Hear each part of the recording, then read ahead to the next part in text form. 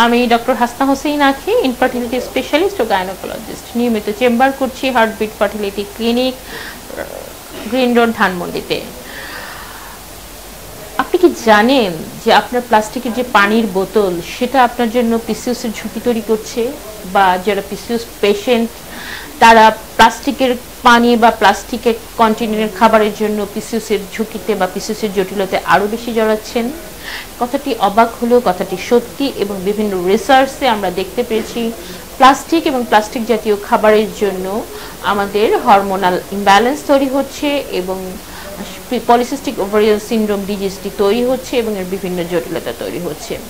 তো এখন প্রশ্ন আসতে পারে, তো প্লাস্টিক ব্যবহার না করে আমরা কি ব্যবহার করব? প্লাস্টিকের পানির বোতলের বোতলে আপনার কাচের বোতল ইউজ করতে পারেন।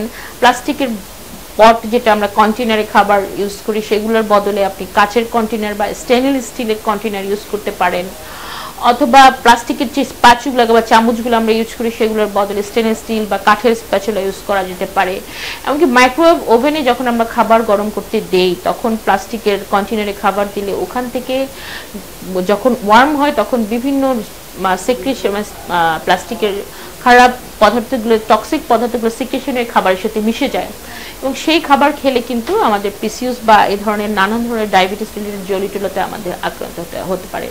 সুতরাং যদি কোনো প্লাস্টিক লেখাও থাকে মাইক্রোওয়েভ প্রুফ আমরা যখন মাইক্রোওয়েভে খাবারটি গরম করব, তখন প্লাস্টিক না দিয়ে আমরা কাচের কন্টেনারে অর্থাৎ সিরামিক কন্টেনারে আমরা খাবারটা দিব। এবং আমাদের দৈনন্দিন গৃহস্থলিতে আমাদের প্লাস্টিক যেহেতু খুব সহজলভ্য এবং ডিসপোজেবল প্লাস্টিকের সব খাবার, প্লাস্টিকের সব পদার্থই আমরা ইউজ করি। সেটা পলি ব্যাগ থেকে শুরু করে, এমনকি এখন হাড়ি, পাতিল কন্টেনার সব কিছু প্লাস্টিক আছে এটা থেকে আমাদের একদিনে আমরা বের হয়ে আসতে পারব না। আমাদের ইউটেন্সিলসগুলোকে আস্তে আস্তে আমাদের চেঞ্জ করতে হবে।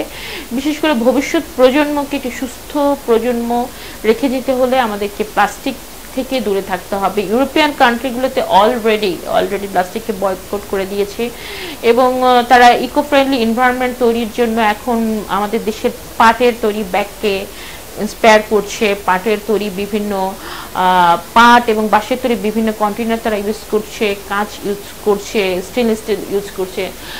তো আমাদেরও এই, যেহেতু প্লাস্টিক দিয়ে আমাদের রিপ্রোডাক্টিভ হরমোনের ত্রুটি দেখা যাচ্ছে এবং বন্ধ্যত্ব সহ অন্যান্য অনেক সমস্যা দেখা যাচ্ছে। আমাদেরকে প্লাস্টিকের এই ক্ষতিকর প্রভাব থেকে বের হয়ে আসতে হবে এবং পলিসিস্টিক ওভারিয়ান সিন্ড্রোম থেকে মুক্তি পেতে হলে অবশ্যই আমাকে প্লাস্টিক পরিহার করতে হবে। সবাই ভালো থাকবেন, নিরাপদে থাকবেন, সুস্থ থাকবেন।